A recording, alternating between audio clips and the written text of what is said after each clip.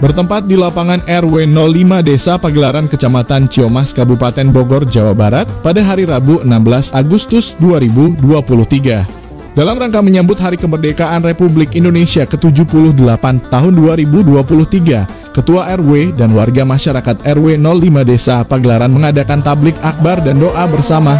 Adapun tujuan dari kegiatan ini adalah untuk mengenang jasa-jasa para pahlawan.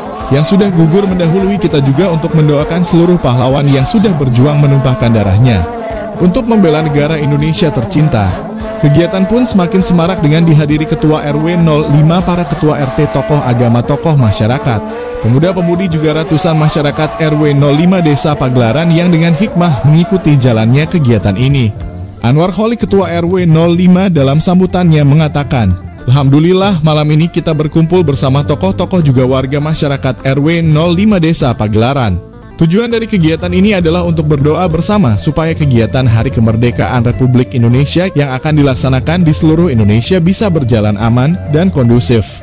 Untuk selanjutnya, setelah upacara bendera warga masyarakat RW 05 akan mengadakan kegiatan perlombaan dan hiburan untuk memeriahkan Hari Kemerdekaan Republik Indonesia yang ke-78 Ucapan terima kasih kepada tokoh agama, tokoh masyarakat, ketua RT Pemuda-Pemudi, juga kepada warga masyarakat RW 05 yang sudah membantu dalam kegiatan ini. Semoga untuk tahun depan kegiatan ini bisa lebih meriah dan warga masyarakat RW 05 semakin kompak. Dari Kecamatan Ciomas, Kabupaten Bogor, Herman Jampang melaporkan.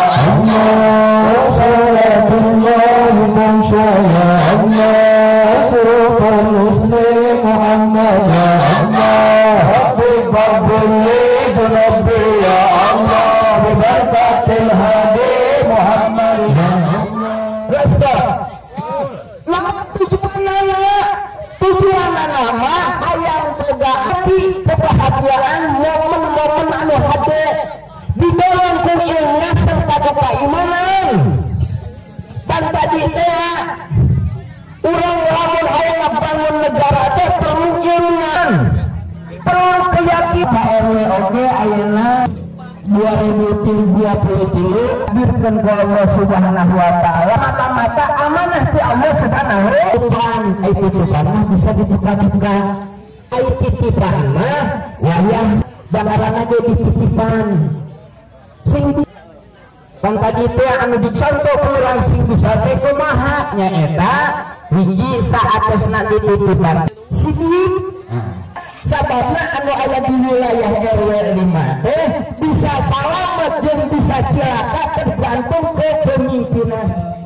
Marilah kita senantiasa memanjatkan kehadirat Allah Subhanahu wa taala atas limpahan rahmat, taufik, hidayah dan inayahnya pada kita semua.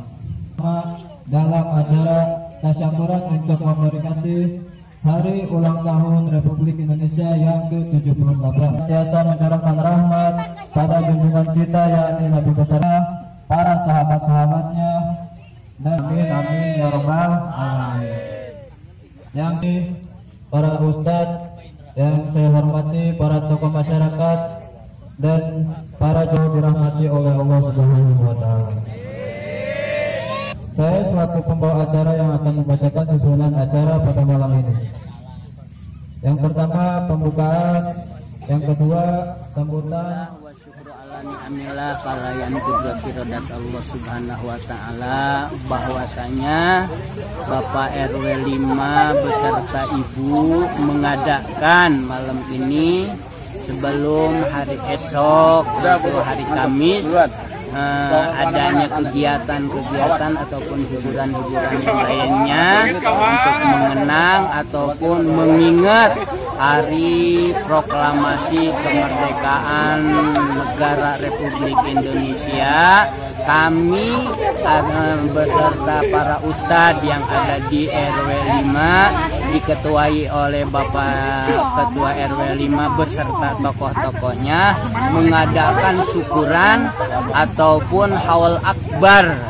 Karena kami hidup sampai saat ini kami menikmati kebahagiaan hari demi hari dan kami menikmati sandang papan maupun pakaian itu atas dasar jasa-jasa beliau yaitu pejuang-pejuang yang ada di wilayah uh, dari Sabang sampai Merauke sehingga terjadinya kemerdekaan.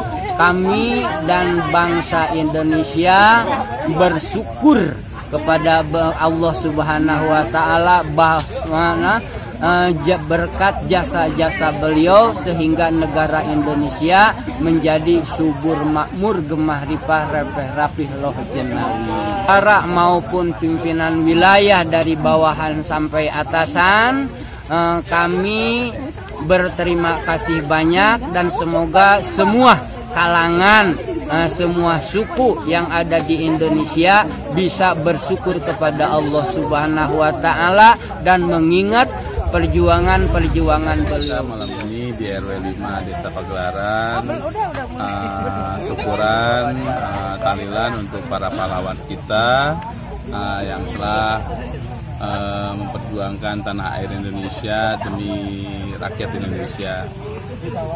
Uh, memotivasi masyarakat bahwa kita ini adalah peninggalan dari para pahlawan kita dan harus kita rawat, kita jaga dan kita syukuri atas apa yang sekarang kita dapat. Insya Allah besok kita akan ada upacara 17-an upacara bendera 17 Agustus memperingati Hari Kemerdekaan Republik Indonesia yang ke-78. Nah, pesan saya untuk anak-anak muda, semoga tetap semangat, kompak selalu uh, kepada warga. Mohon dukakannya untuk kegiatan anak-anak